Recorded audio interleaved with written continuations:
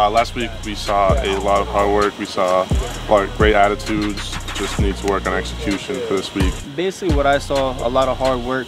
Kids really didn't give up. Like, like from the first quarter to the fourth quarter, everybody gave all they had, and it really looked good in my opinion.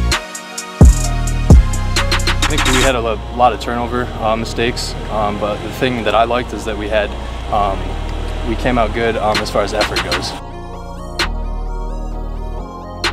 This weekend, just the same thing. I just want kids to keep finishing the play, keep have determination, keep keep that drive.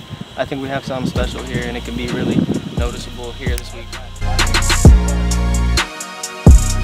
Be here, wear blue, and be ready to go.